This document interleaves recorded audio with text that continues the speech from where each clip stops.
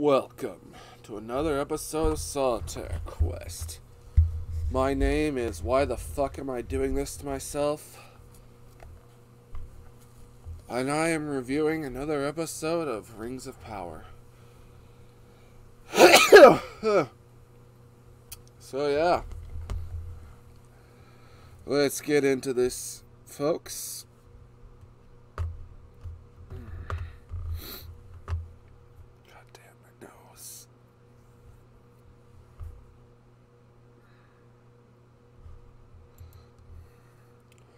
So yeah, this episode is called Udun. Pre- we got it previously in Sand intro. Yeah. So yeah, the orcs are touching the ground. There's clearly a elf leading a warlord, a war band of orcs. Yeah, no.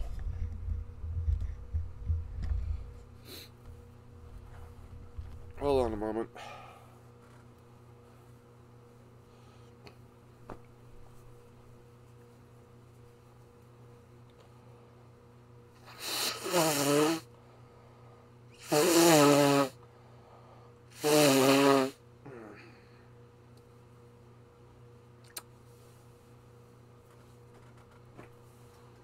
So yeah.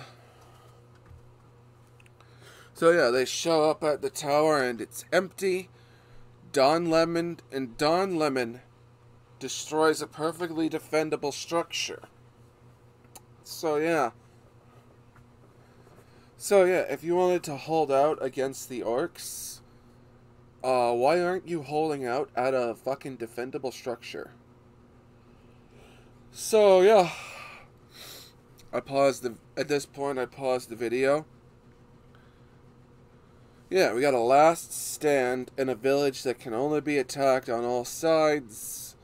Tower clearly built to be destroyed, if not clearly a terrible design.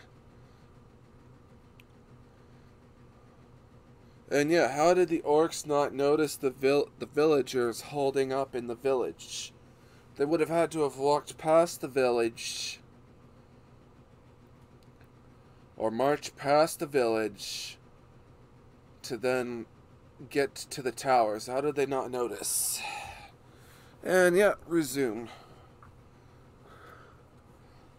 As at this point, I had to pause and play and whatnot.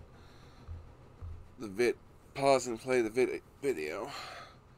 We got some kids feed some uh, horse Galadriel speaks with the stable sweep.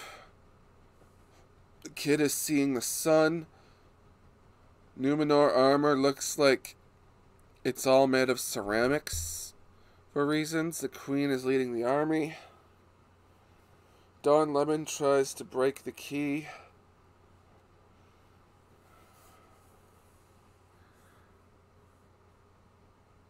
Apparently, the position gives apparently their position gives them an advantage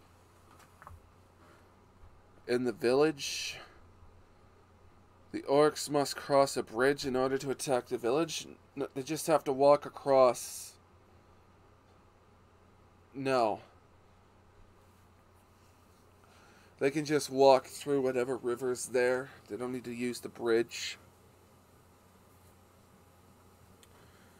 We got emotional padding, padding and fluff and more padding. We got a nighttime attack. This is important, folks. There are women and children. Why don't they flee past the tower? It's like the we got a fire cart to start the attack. So they attack the orcs. The black guy with the we got a black guy with a chain on his neck. And if orcs are now suddenly black people, doesn't that mean it's like black on black violence? We got Don Lemon failing to kill an orc and a woman does it. This guy should be trained for cent- this guy should have over a century's worth of training. He should be an orc killing machine. But no. So yeah, they fend him off somehow. and there are humans amongst the orcs. Ba-na-ba.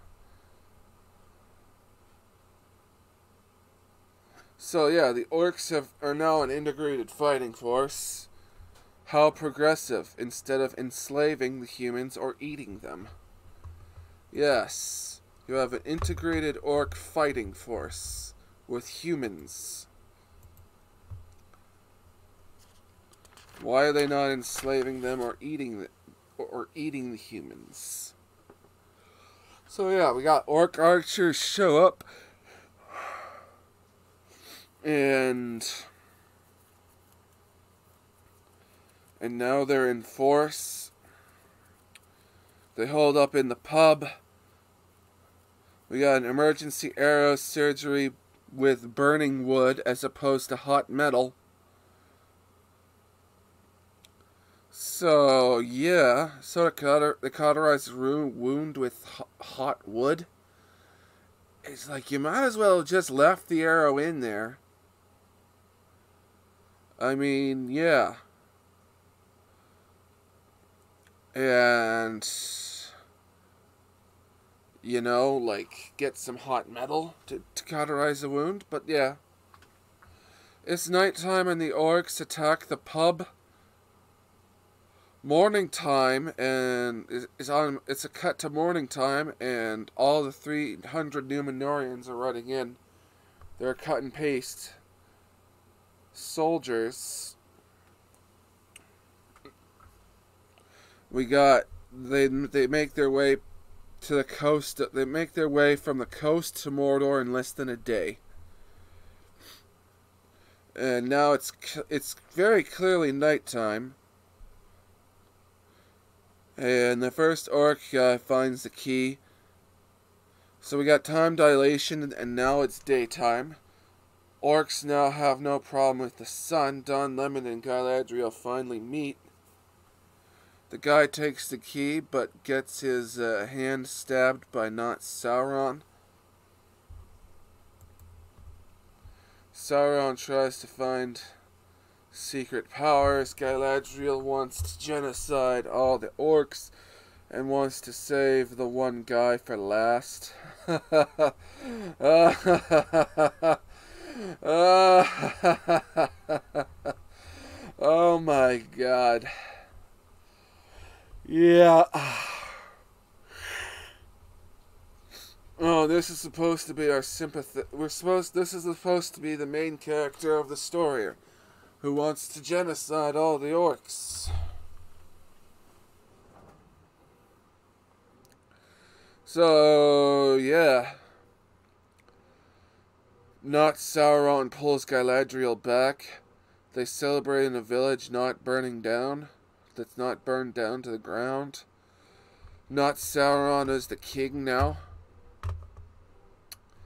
Uh, the kids should not feel guilt. The kid is given a hatchet.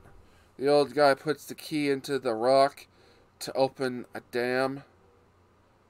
We got horse bonds exist apparently. So yeah, we got some wells exploding with water. So yeah, we got water falls into a volcano to cause it to erupt. Yeah, that's not all the water would turn into fucking steam. All the water would turn into steam. It would explode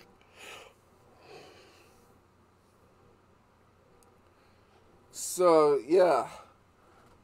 If anything, you would get a shot of steam out of the top of the volcano, and that's it. Till the water ran out. It wouldn't cause. It wouldn't cause the volcano to erupt.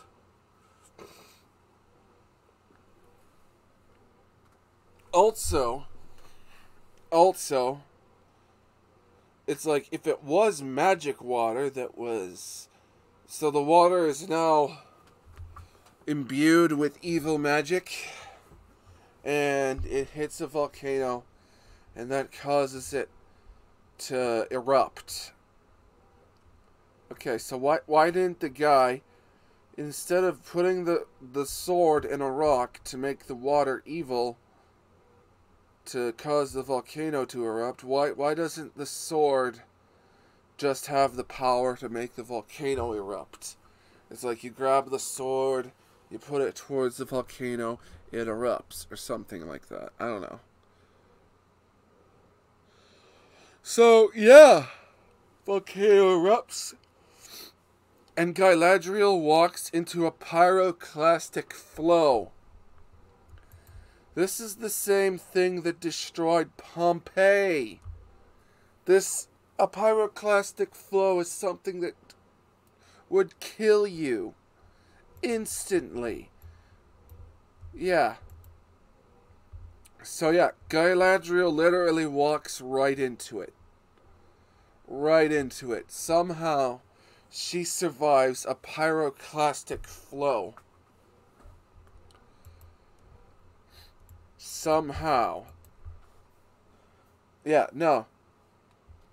It nowhere in the Lord of the Rings is it stated, or the Silmarillion, that Galadriel can uh, withstand a volcano exploding in front of her fucking face. Nowhere in the canon does it say that. Last I checked, volcanoes pretty much kill everything in their path. So, why?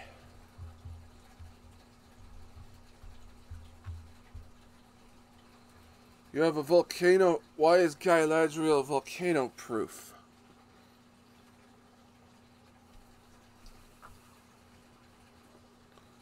why.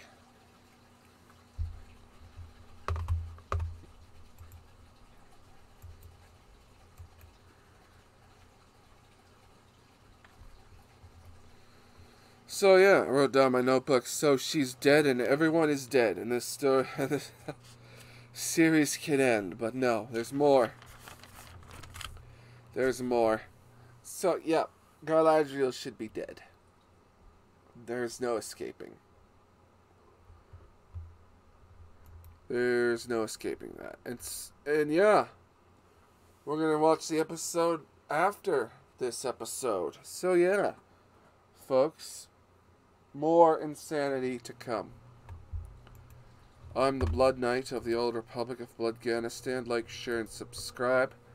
Stay frosty, stay sexy, San Diego. Get your jewels in one where you can. I am a spaceman. Invest in GameStop. Support Gina. Peace out.